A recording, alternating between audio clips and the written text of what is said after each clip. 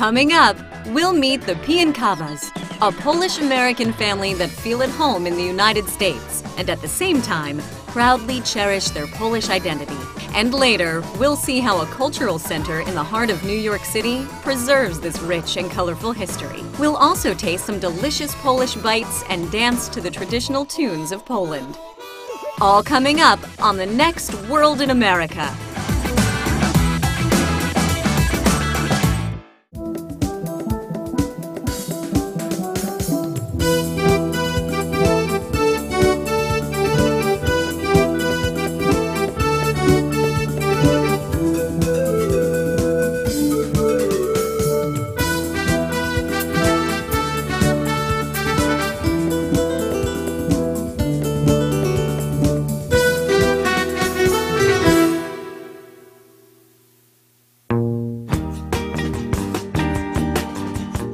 Poland is here.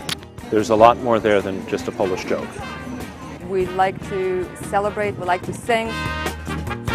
If you have two Poles in a room, you'll have three opinions. We can assimilate easily to this life. We chose to live here, we chose that country, we love it, but we want to remember about our heritage.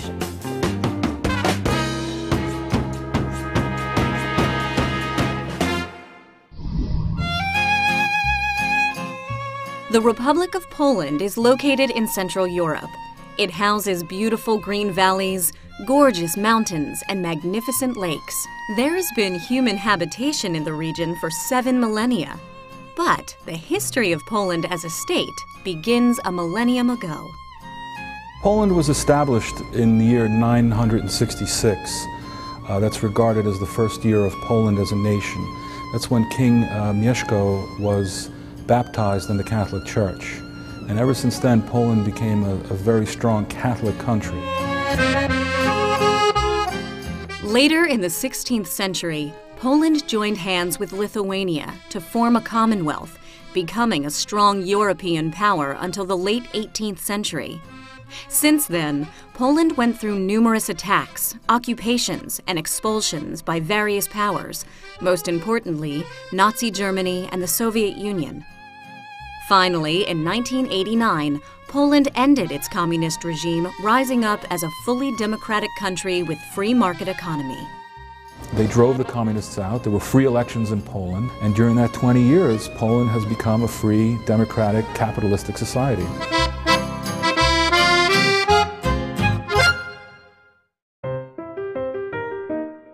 Many significant migration waves from Poland to America have taken place since the very beginning of the United States.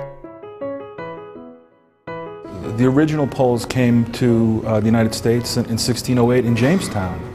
Uh, and then in the American Revolution, you have Tadeusz Kościuszko who came, Kazimierz Pulaski, uh, and many other Poles that came and fought in the American Revolution. Each time the Poles tried to rise up against the Germans or against the, the Russians, and those, those revolts failed. They would come over in waves. There was one in 1830. And so after World War II, and because of communism, a lot of Poles fled the totalitarian state, the, the evil empire that Ronald Reagan said uh, you know, about the Soviet Union.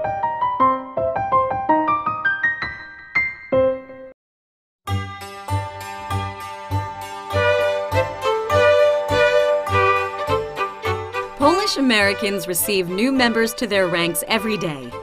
During the late 80s, two of these new members, Danusha and Kaz, arrived to the New World as single individuals not only to make the States their new home, but also to find lifetime partners in each other.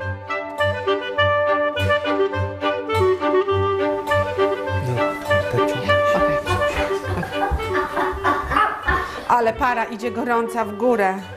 Ciekawe, kto dostanie pierwszego wafelka? Dla kogo jest pierwszy wafelek? I am Danusia Swiatek, a full-time mama and a freelance writer. I've been in the United States for the last 20 years. O, jakie piękne. Teraz czekamy. Tata, włóż. You have to cut them in the middle. Tak, ale włóż My name is uh, Kazimierz Pienkawa. Uh, my American friends called me Kaz, and that's my also uh, legal name here uh, because it's uh, much easier uh, to pronounce. You can put it together, but you have to come here with the chair. No, we put it here. See? I first time arrived to the United States when I was 13. My father was uh, working for the uh, Polish shipyard industry and he was working in Manhattan in the World Trade Center.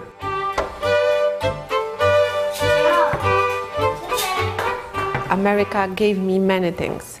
One of them is my Polish husband. One bed and we sleep When we met, I think we hit it off from the first time. After two years, we got married. Then he went to school. Then I went to school. Then we decided to buy a house. Then we want to, to have children.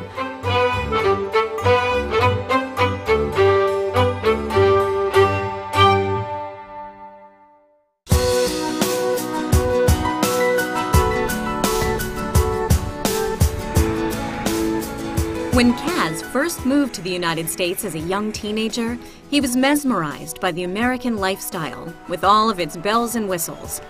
That first awe gradually transformed into a wholesome and sophisticated appreciation of what America has to offer him and his family. When I arrived here, uh, everything was uh, uh, amazing for me. Seeing the traffic, the, the multiple lanes of uh, trucks, taxis, you know, yellow cabs uh, easily visible from above, and uh, size of buildings, you know, size of uh, Manhattan. That was a tremendous experience for a teenager leaving the uh, the country to see uh, the Western world for the first time. When uh, Polish people arrive in this country, uh, I think they are embraced by the American culture. Americans are not very particular uh, about, for example, making a big deal that uh, somebody is not speaking a very good English or speaks English with an accent. My children have this opportunity to meet people of different religion, of different beliefs, of different color of their skin. And they don't have to travel far away to learn about the whole world.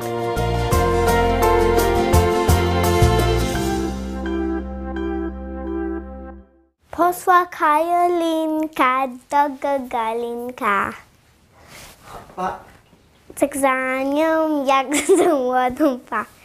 Zasadzką wina. Hej! Omek, mej As the Piankavas feel more and more American, they also feel the need to transfer their Polish cultural essentials to their beautiful children. To this end, Danusha and Kaz believe in the importance of teaching them Polish, as language is the conduit of culture. Zakochałem się. You did good. You paid attention. You paid attention. Oh, my baby! They speak English all day long, but we care about our Polish heritage. That's why we decided with my husband to split. Czy kupujemy wielbłąda, czy królika, czy psa, czy kota? Może znajdziemy.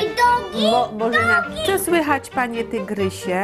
A przy tym ma bieg taki prędki, że chociaż tego nie lubi, My wife speaks to them uh, in Polish, na tarasie nie muszą stać, mogą stać na trawie. Pies i koń. and I speak to them in English. Where would you keep the elephant? Outside. Oczywiście w ogrodzie. outside. That will give them uh, an ability to learn more about the Polish culture. Śniło mu się, że nad czymś ogromnie się When they go to Poland, we try to take them every year for vacation, an extended vacation for them, uh, sometimes six to seven weeks. The first time when we went to Poland, it was three years ago, and uh, especially Kimberly was so mesmerized about the people around us, about the places.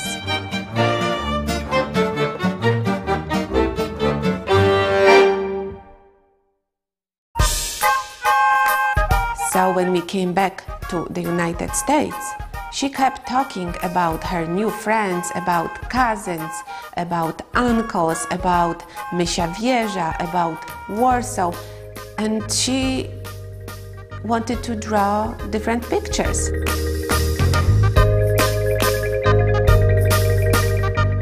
I asked her, Do you want me to write a few words in Polish and English to each your drawing? And she said, Yes, mommy. And that's how our book was born.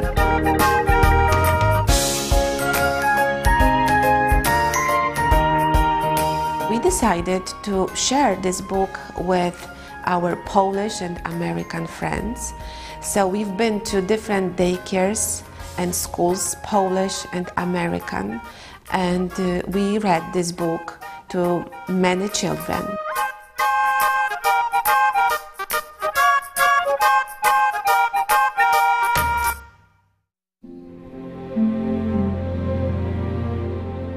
Kimberly recently ignited a special emotion in her mother's heart.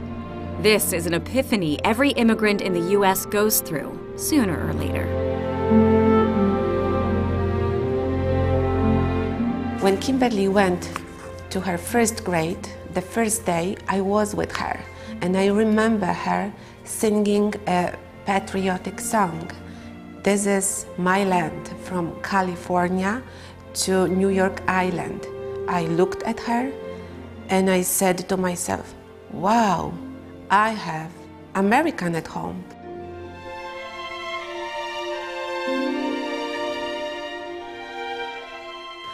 She was so happy singing that song, and then I'm thinking, wow, this is her land, and this is my land too. It was a very moving moment for me and for my child, and actually, it was the moment when I felt American.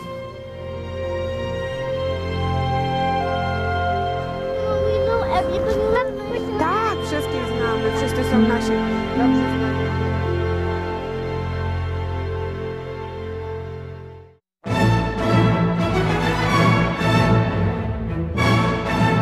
Piankava's attention to maintain Polish culture also reverberates in the heart of New York City. Under the leadership of Alex Storozynski, the Kosciuszko Foundation carries gems of Polish art towards presenting their rich history.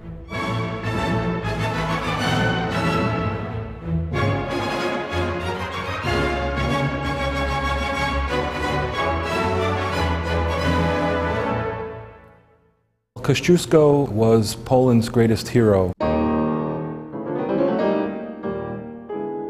He came to America and fought in the American Revolution.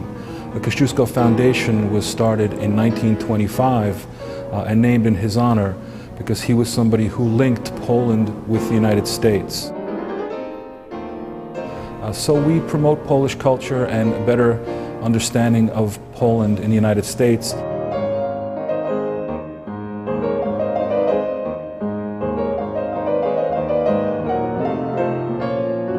We're sitting here in the headquarters and we have a, quite a collection of Polish artwork from some of Poland's greatest painters.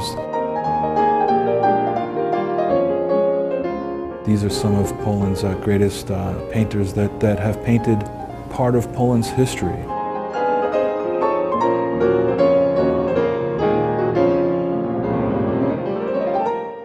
Also showcased in the museum are vibrant photographs of Warsaw, the capital of Poland, during and prior to the Second World War. On this floor, you see photographs from the uprising, the Polish uprising against the Nazis. Downstairs, uh, we have photographs of what uh, Warsaw looked like before 1939, before World War II. Poland did play a significant role you know, in European history, but also in American history. The Kosciuszko Foundation continues to strengthen the natural ties between American and Polish traditions.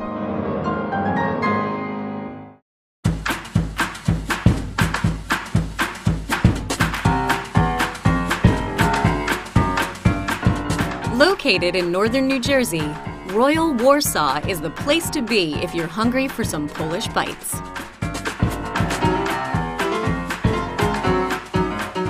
The restaurant was opened 2003. Any delicious Polish meal begins with a warm, hearty rye soup, the żurek. Now I'm gonna prepare for you guys one uh, rice soup. We're gonna serve the soup with kielbasa and two eggs. And after that the soup. In Poland, for the Easter, we serve the żurek for the breakfast.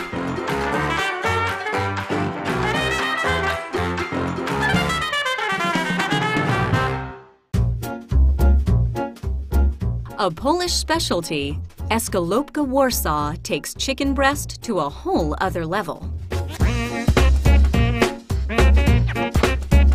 We're gonna start with the chicken first time.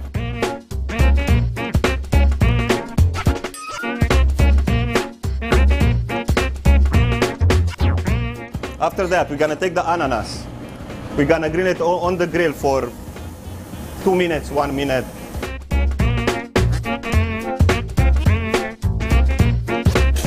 And after that is gonna come the cheese.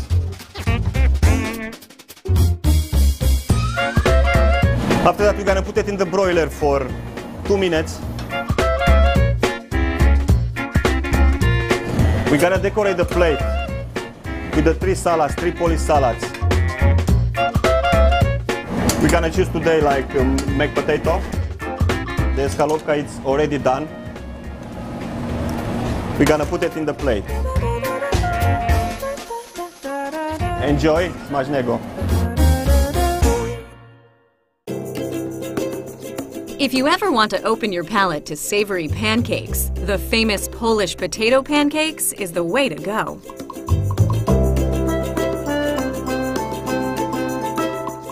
We're gonna heat the pan 350 degrees, put the potato pancakes.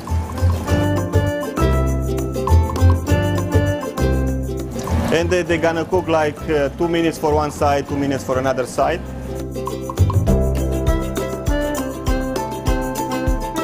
After it's done, one side and another, we're gonna pull it out on the plate. And we're gonna put the goulash in one side of the pancakes. And we're gonna cover it with another pancake. We're gonna serve in the same way with the three salads.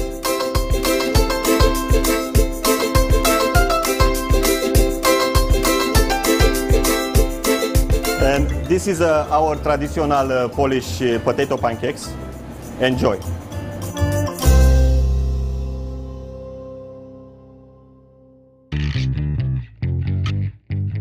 Somewhere between ravioli and dumpling lies the Polish pierogi, which is served either as savory or a sweet dish. Here, Chef John prepares a plate of sweet strawberry pierogi. This is the, the, the dessert what we're gonna do for you guys today. The, the strawberry pierogi, truskawska pierogi. Inside there are strawberries, truskawska and sugar. Gonna start to plating the, the, the plate. We put, we put in some kiwi syrup, some chocolate dressing.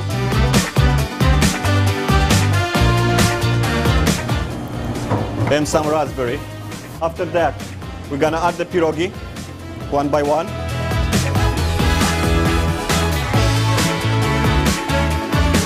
And the straw- strawberry, I just cut it. And the mint for a better view. And finally, we're gonna put a little bit of strawberry dressing. This is our dessert for today. Uh, ra- raspberry pierogi, truskawska pierogi. Enjoy, smacznego. I love to eat them. I can eat like 15 of them.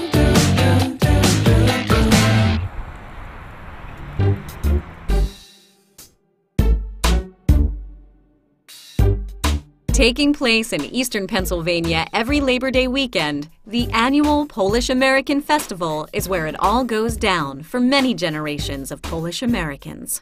This event's been going on for 44 years already. Actually, last week I met the first organizers and they were showing me and telling me how many people showed up here. Apparently, there were 15,000 people on the first day of this event. Many Polish people here who were born here in America. Wouldn't be fair to assume that it's only about having fun.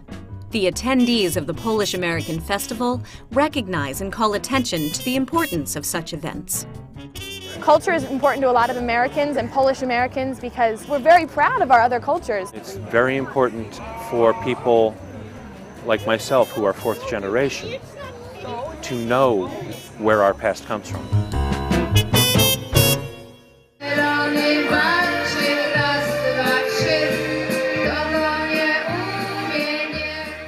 The next generation of Polish Americans are cognizant about what attracts them to these events year after year. I've been coming here since I was in my mother's womb. My mother's been coming here since she was four years old. You know, I've been watching this my entire life. I've been going to this event since I was born, and this is the one thing I wait for the entire year. I, I love it, it's my life.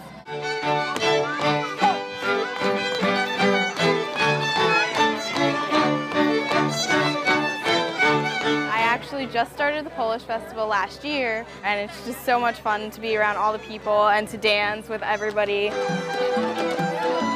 Oh, it's just nice to see, oh, there's other people out there that have my name too, and I'm not alone.